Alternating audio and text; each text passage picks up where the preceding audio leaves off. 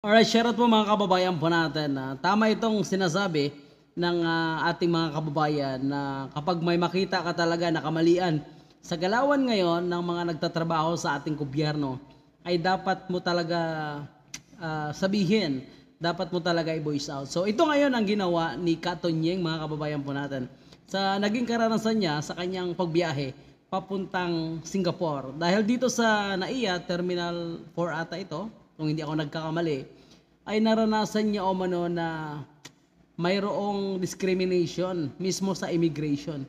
Kasi imagine mo ha, ang ah, pila o mano ay dalawa ang immigration, ang isa o mano ay ah, para sa mga foreign passport. So ang isa naman para sa Philippine passport. So nakita ko mano ni Katunyeng na yung sa foreign passport, napakakunti yung nakapila.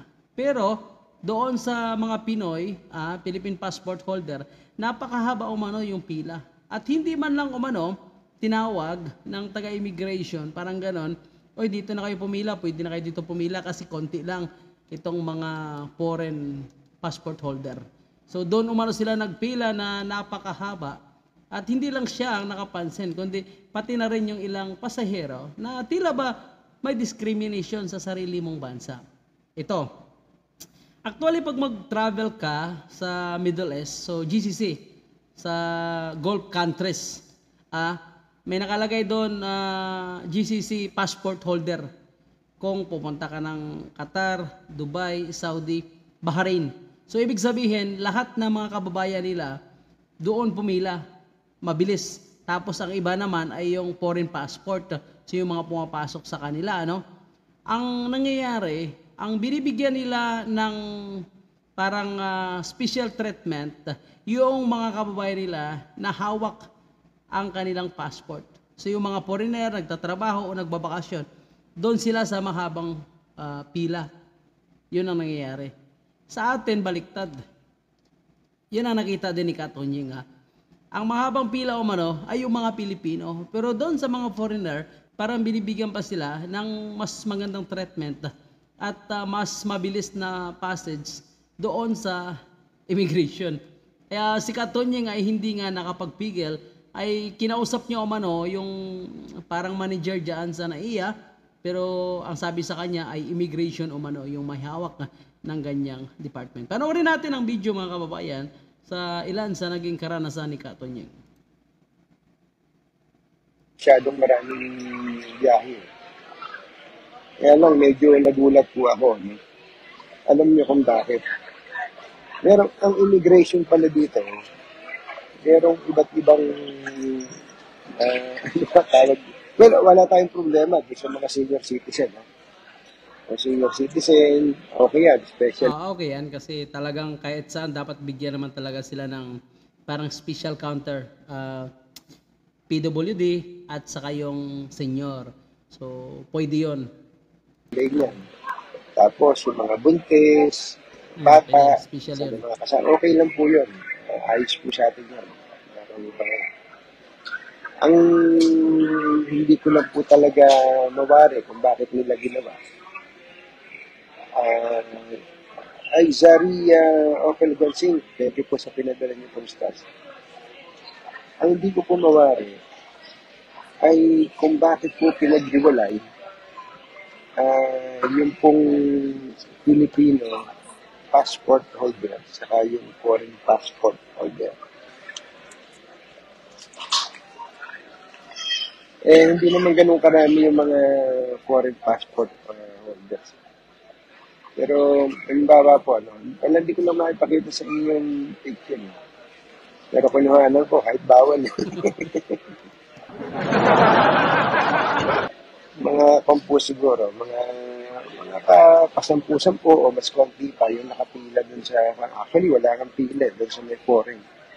Tapos dun sa pila ng Pilipino, siguro mahigit sandaang kaming nakapila at naghihintay kami ng turn namin.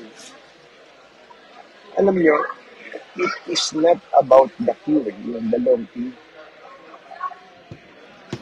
Ah, sa ibang bansa, meron din naman ganun. Halimbawa, dating ka ng Singapore, yung Pinoy, tapos for, okay naman yun. Ah, yon ang sinasabi ni Katonying Naranasan ko yan nung ah, nasa Saudi ako at ah, minsan na-assign kami ng Dubai. So ganun ang nangyayari na yung mga foreign passport doon ang haba ng pila ang dami yun. Tapos yung kanilang kalahi, mayroon parang special counter na doon sila lahat dadaan. At ah, mabilis, mabilis yung screening na nangyayari. Oh, sa atin iba eh. Pag Pilipino ka, daming tanong. Matagal ang screening. Pag foreigner, ang bilis. Baliktad talaga sa atin. oh. At ang tingin ko doon, ang nabibigyan ng ah, pabor ay ang mga nationals ng bansa nila. Mm, tama. Di ba ba? Pero dito, ang haba ng pila, eh di mga, yung mga Pilipino. Tapos eh di, naaawa ako dun sa mga Pilipino nakapili. Kaya sabi ko, parang sariling bayan natin to. Maano bang kapag ka wala namang na wala namang Pilipinong o wala namang foreigner o kaya kakaunti foreigner, ihalo na sila sa mga Pilipino. Mm, tama. Mas maayos na lang sana yung Ewan ko ba, nagiging ano lang ba ako? Feeling entitled ba ako? Ganun ba?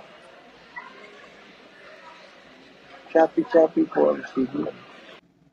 Pero tama yan mga kababayan, no? itong ah, naobserba ni Katonyeng. So sa ating mga kababayang OFW, so I think naka-relate din sila sa naging karanasan ha, sa naobserba ni Katonyeng. Ano? So tayo kasi mga OFW, hanggang madali tayo, wala naman tayong time mag-complain at wala naman tayong kapangyarihan magsalita ano sa social media. So unlike si Katonyeng, kilalang personalidad. So ang kanyang ginawa ay posibleng mabilis makarating sa management ah, ng immigration or ng NAIA. So maganda talaga kung ah, pag ikaw ay nagsasalita, isang kilalang personalidad, kagaya nito, pag tira ni Katonyeng, mabilis agad ano ang ah, response diyan lalo na ng immigration. Ako, okay lang ha. Okay lang sana na... okay lang sana na na kaya hinihiwalay eh para mapabilis yung mga Pilipino. Wala eh, daming pila pa ng Pilipino. Baliktad eh. Parang feeling ko, baka naman, baka, baka naman ako lang ang nakik, nagbukan dito. Iniisip ko lang yun. Ano. Correct din lang po ako kung ako'y ah, mali. OA na ba itong nararamdaman ko na to? OA lang ba ako? OA lang ba? Uulitin ko lang po yung eksena kanina. Yung pila ng mga Pilipino, mahigit sandaan kaming nakapila. Mm, Yung pong lane para sa mga foreigner, mga pasab palima-lima, sagad na siguro yung sampo. Tapos, uh, kabilis-bilis, eh, priority sila. Ano kaya ang panon? Ano kaya ang rational nun? Ano? Para wag silang mag-isip, yung mga foreigners nito na mahaba pila sa immigration natin. Para wag silang magreklamo. Kasi pag foreigner ang nagreklamo, ah, big, big deal. Ganun kaya yun?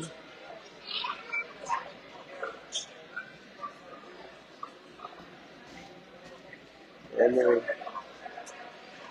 Minessage ko po si uh, Acting General Manager Brian ko ng uh, ng uh, NAIA. Tinanong ko kung sila ba yun. Hindi daw sila yun. mhm. Ang uh, nag-aayos daw nito ay mga taga-immigration. Kakausapin. Mabilis naman umaksyon doon po si uh, So, yun po mga kababayan, ano. So, sana yung mga ganitong patakaran sa ating bansa, sa ating immigration na puno na nga ng complaint, kapalpakan, at ah, napansin po natin ay halos ang iba ay hindi pa aamin. So, ang nangyayari pa nga ngayon sa ating immigration ay lalong humigpit pa umano yung ah, kanilang ah, ginawang ah, pag-screening pagkatapos nga sa mga complaint at binula, ah, pinabulaanan pa ng taga-immigration na umano yung mga fake umano yung ilang allegation na sinasabing na-upload sila dahil sa ah, kahigpitan ng immigration at iba-iba ang hinahanap na dokumento. Pero sa naging karanasan naman ni Katunying, iba na naman ano, So parang discrimination nga sa sarili mong bansa. Imagine mo, kayong mga Pilipino ay napakahaba ng pila, samantala may counter na napakaluwag at kukunti lamang yung dumadaan doon, ay para sa mga foreigner. So, ganun ang mangyayari sa ating bansa, mga kababayan po natin.